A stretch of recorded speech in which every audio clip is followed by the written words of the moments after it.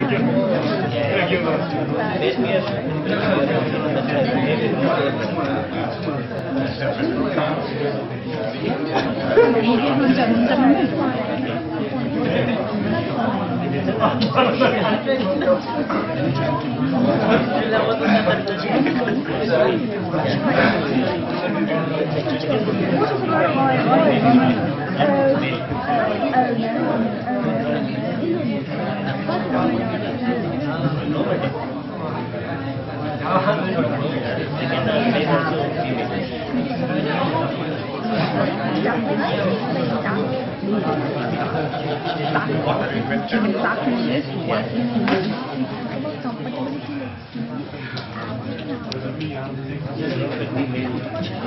you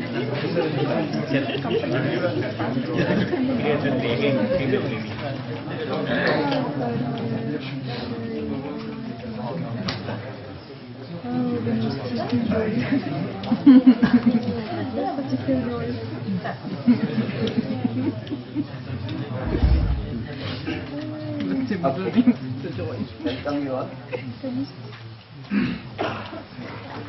This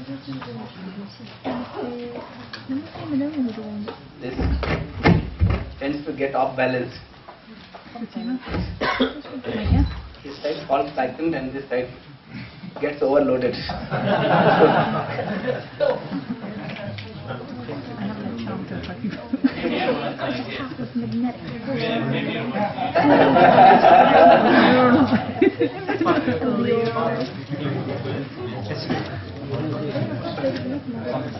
yeah, it becomes difficult to balance the both when there is so much of things. Okay. The last session, talking about this feeling of respect, and we said that if we evaluate you know, human being on the basis of the self, right? and that will be its right evaluation, then we find that the purpose, the program, and the potential of every one of us turns out to be same. If I can see this, I can conclude that the other is like me. If you make the right evaluation of a human being, then I will be able to see that the other is like me. And I am saying this is the minimum content of respect for a human being. So the question was that today, when you talk of respect, do you talk in terms of the fact that the other is like me, or you are trying to differentiate in the name of respect?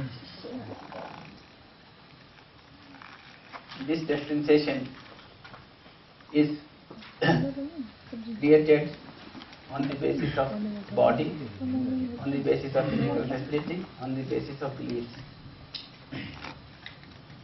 What do you think? What is the basis of respect today? This or this?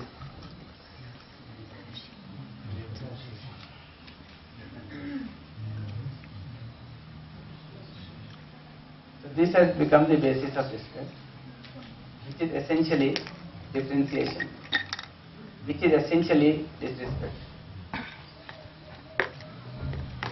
Very interestingly, what we are trying to do in the name of respect is resulting into disrespect.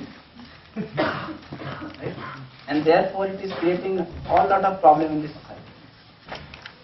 In fact, the major problems in the society that you will see today has to do with this differentiation, which is done in the name of respect. So for example, you will respect the elder, not the younger. And that is creating so much of generation gap. And there is a movement against this generation gap. To differentiate between the gender, we will respect the male and not the female. Or respect more, you know, female with respect to the male. this differentiation is creating so much of problem, right? You have feminine movement all around. then race, so you will respect the white and not the black. That's why you are buying 10,000 rupees a kg cream, you know, trying to become white.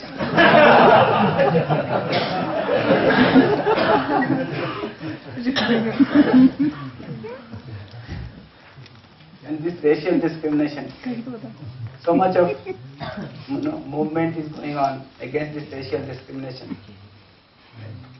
Then there is respect on the basis of physical strength. The whole concept of king to begin with, right? Or the, you know, the tribal chief was the man who has the highest physical strength will be given the respect. Others will not be given respect. This is called differentiation. And those who are physically weak, they have come up with weapons.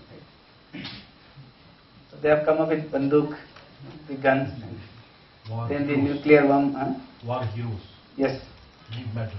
yes, To kill the millions. yes.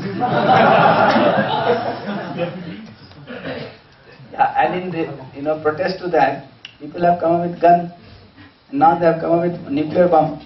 Now you can't even reach them, right? So this physical strength is no more important because if you cannot physically reach to the other person, your physical strength is not going to work. The other person will hit you from this distance only. so that is how the gun and the nuclear bomb has come, right? So there is a whole lot of war against this. Similarly, you are discriminating on the basis of physical facility. They will respect a man with lot of wealth and not respect a man with less wealth. So everybody is trying to accumulate wealth. And there is so much of fight going on between the those who have the wealth and those who are have not. Then this position. So there is a fight between those who have the position and those who do not have the position. So if you look at, I keep telling this, if you look at this chaprasi sitting outside the office of the director or any head of the department, the chaprasi feels that this man is doing nothing. Just sits there, he can't even take a glass of water and drink. That also I have to provide.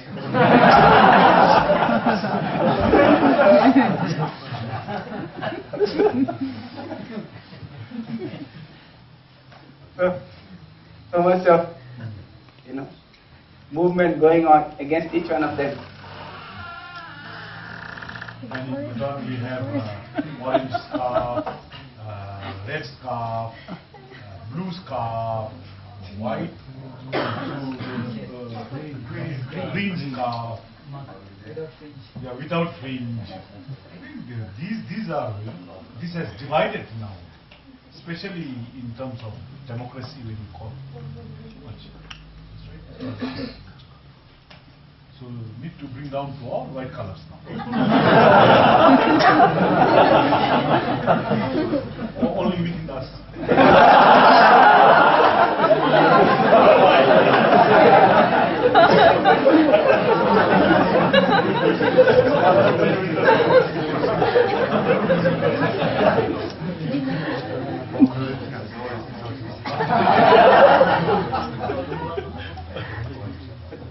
interesting thing is that if you look at this democracy, right, it has created its own positions. It is also not free from this differentiation.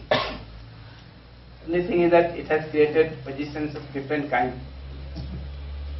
Like I remember one of my uh, student you know, was from his uh, father was from medical college. When he came to meet us, so he was trying to tell us that you know he's very open-minded, things like that. So many times he repeated that I am very open-minded, you know, and I don't believe in caste. So my daughter got married inter-caste, you know, and I didn't oppose it. That is go ahead. So I asked him, what is what the boy is doing? So he said he is an engineer. Don't worry, it is not inter-caste, it is only inter-caste, not inter-class. Because the daughter is also engineer.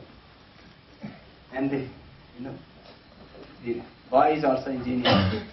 So though you have done intra-class, intra-caste, but the class is same. now we have created new class, the class of engineers, right? class of doctors, right? and the class of common man. So this democracy has its own, you know, kind of uh, this differentiation by way of position, by way of income groups. Like every, at least in India, you know, like every college or every government institution has all these class 1, 2, 3, 4. I don't know where it is there in Bhutan or not, but in India, these four classes are there. Call it differently, but they also also have levels, no? Yeah. Filters, Yes. they have different. Yes, yes. We need to do The a- class 1 officer will have a house which has four rooms. The class 2 will have three rooms. Class 3 will have two rooms. And class 4 will have one room. Right? And the number of children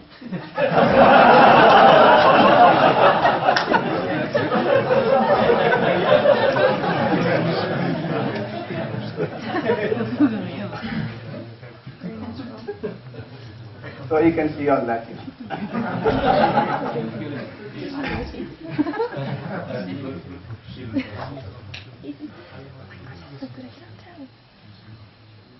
So this differentiation we are making. Then we are making differentiation on the basis of the sects or the, you know different isms. So different beliefs we have. We think our sect is higher than other sects. Or myism is better, know, higher than other isms. So capitalism think that you know capitalism is better than socialism or communism and vice versa. differentiation based on All this differentiation, uh, they are the basis of respect. Mm-hmm. And ultimately it causes differentiation, which ultimately causes disrespect. And with the modern education we have created one another sect you know, which comes under the belief that is people having different set of information. So differentiating on the basis of information, not knowledge. And then we have BA degree, bachelor's degree, master's degree, PhD degree. That is where I put this, added this. So this is what we are doing. And what do you think? They are creating respect, ensuring respect, or it is causing differentiation, it is causing disrespect. So Therefore, there is a movement going on against each one of them.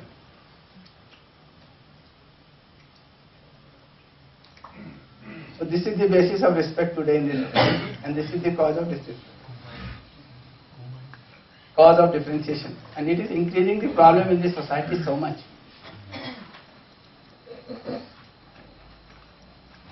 If you think you will get respect on the basis of wealth, then you go on accumulating more and more wealth. And on the one hand, it is not ensuring respect. On the other hand, it is creating differentiation. Therefore, everybody else is now busy trying to accumulate more and more wealth. And the rich people are not happy. Yes. They are unhappy and deprived. and they are also creating this feeling of deprivation in many other people. In fact, slowly the roads okay, are made for the fast cars, right? and it is almost made inaccessible to the pedestrians. It has become difficult for the pedestrian to walk.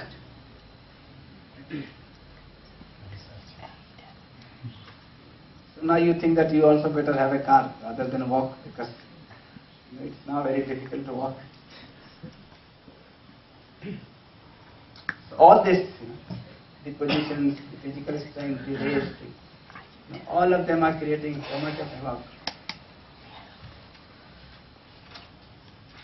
In fact, many of the physical facilities which you make use of today is, is to support one of these things. You are trying to look good, right? Because there is a basis of this racial discrimination, right? You still think white are better than the black, the browns. So you are trying to turn yourself white. There was a whole lot of this business, you know, of this world. and for a few years, it was consecutively given to the ladies who were very high, you know, height. So there was lot of competition. It appears that many, you know, girls in China, they started getting operated their heels. The heels were operated and then six inch of this piece of bone was added in between to make them high, taller. I mean, you can do all kind of funny things with this kind of.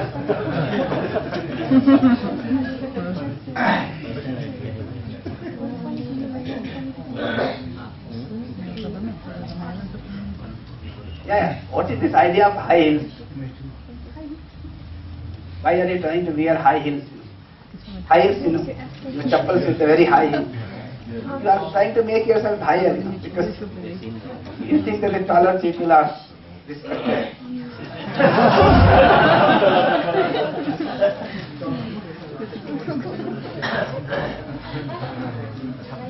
You see, we have to start evaluating all these actions ours. What is the origin otherwise? Because we are really doing difficult things.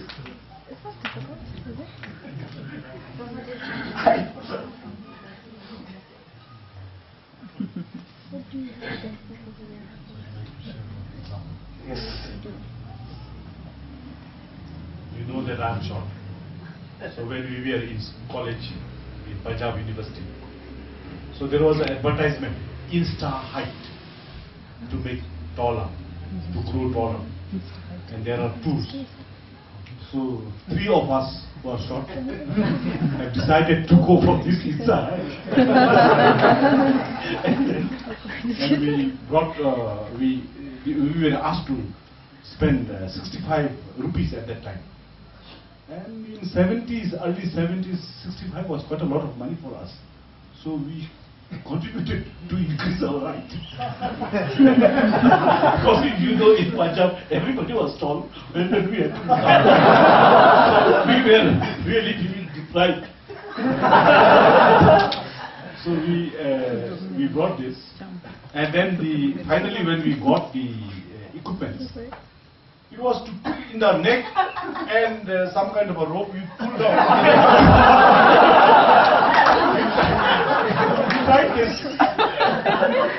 we tried this. For about a month. And then he says that you have to comb your hair to make two inches taller. Like. Put on another two inches or three inches on the heel. So then two inches here, uh, three inches down, five inches already taller. then to look, then to put on a cloth which is of a dark one, which will also make you, you know, taller. So we put on the dark. so that worked for about a few months. After that, we all regretted. Went back to the regular height. yes.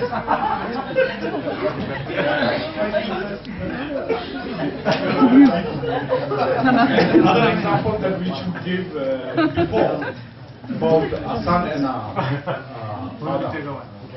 When you were describing uh, the son coming to sleep after the father, uh, son uh, wakes up only after father goes to office. And then uh, he will uh, wake up around 10, 12. Then when the father comes back home, the son will only come after the father is asleep. So there was no, this is why I think you exactly described. And when you were describing, I thought that somehow, how did you get my information? I'm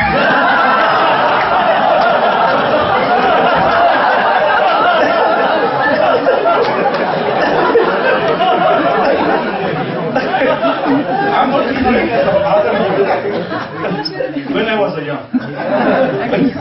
I was a son and then my father. Exactly as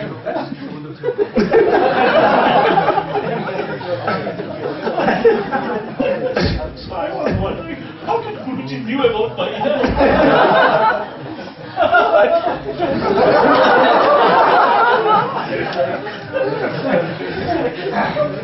know, the very interesting thing is,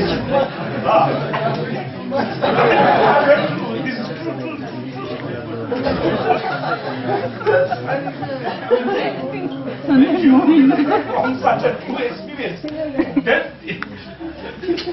Mamma gav denne babyen til mamma.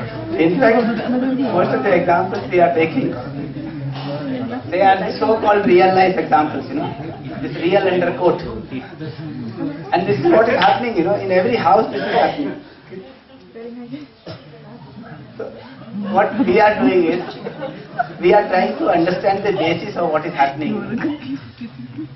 And then we are trying to change the basis. Set that right. So if the very basis is set correct, then all these things, you know, what we are calling real, and they are not real. Right? That's why they are creating so much of problem in us. But we consider them real because they are happening. And this is happening in almost every house. Everybody is troubled. When we take this example, everybody feels that we are talking about him. But that's the way things are. It has to be resolved. So in order to resolve, we have to try working out the right basis for it.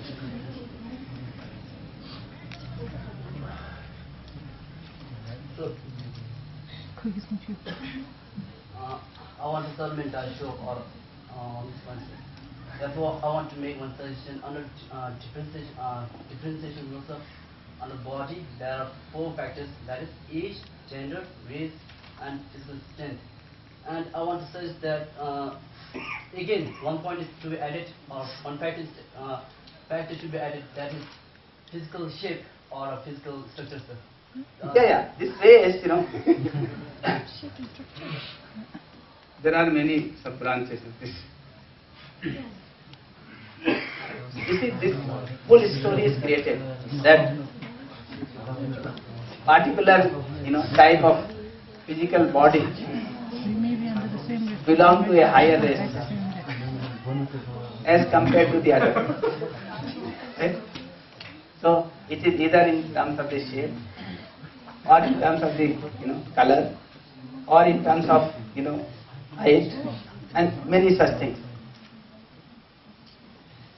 And interesting enough, if you look at the this, you know, many traditions we have in the world, previously they all had their own story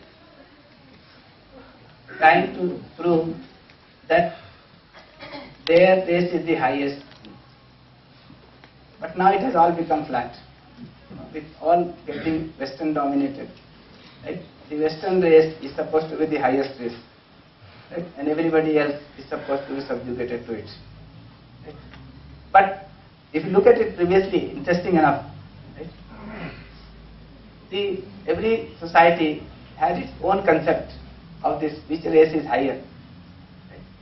In fact, if you look at the records, when Britishers came to India, first almost 30 40 years, one major complaint they have is that these people in India teach us and treat us as untouchables. Okay? This is the major complaint. And they were called in Indian terms as Malech. Malech. Ah, Malech means whose desires are corrupted. Mal is corrupt, you know. Dosful hai. Iksha is, you know. So Malech means whose desires are corrupt, you know. That's called Malech. So they were called by the name of Malech.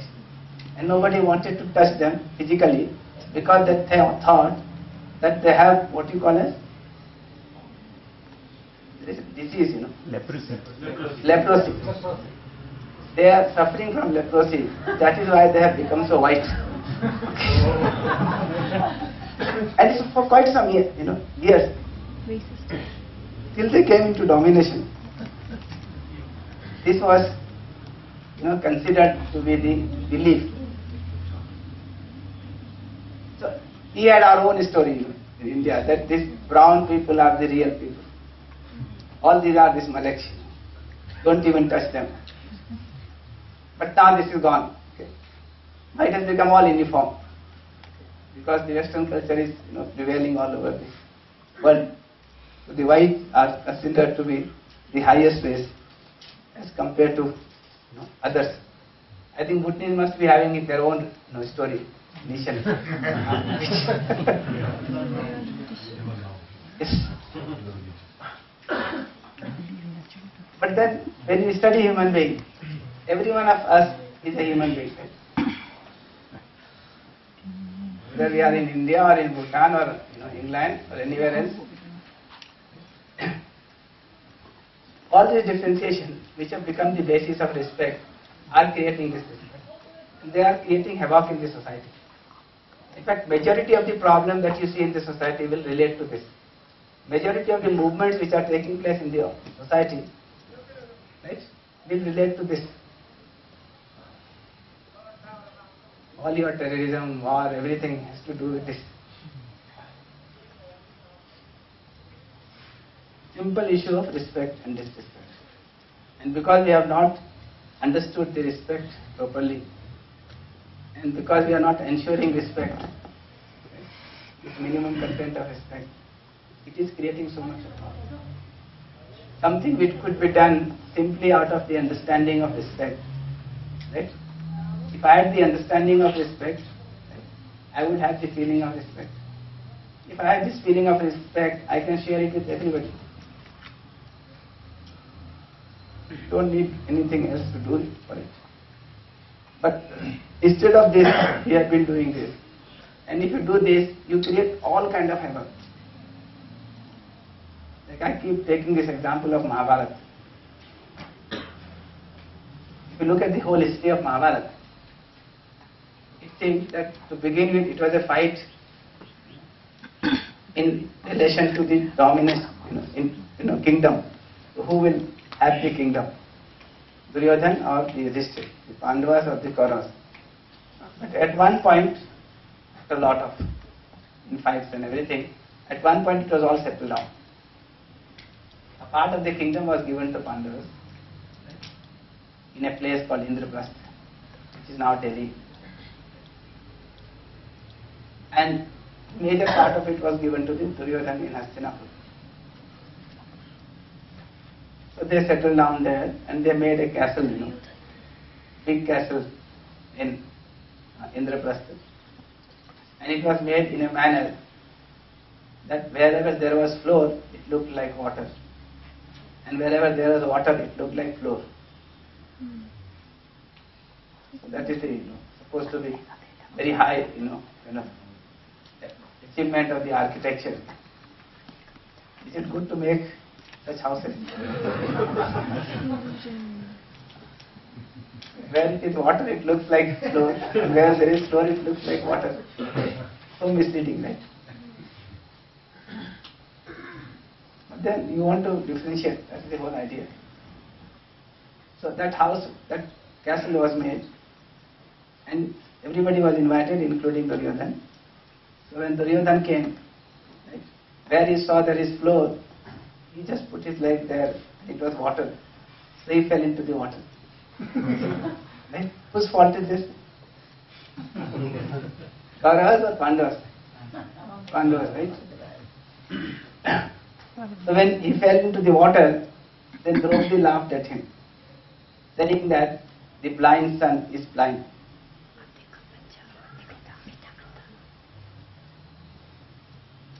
And this was very hurting for Duryodhan. Right? And Duryodhan said that you have insulted me in public, and I will insult you in public. Yeah. And that is how it began. Mahabharata began. So, and they fought this Mahabharata on this simple issue. Right? This under-evaluation or this differentiation okay, which Draupadi created. On the one hand, he was not blind physically. His father was blind. It was insult in that sense. But if you look at you know, the people who are blind, if you call them blind,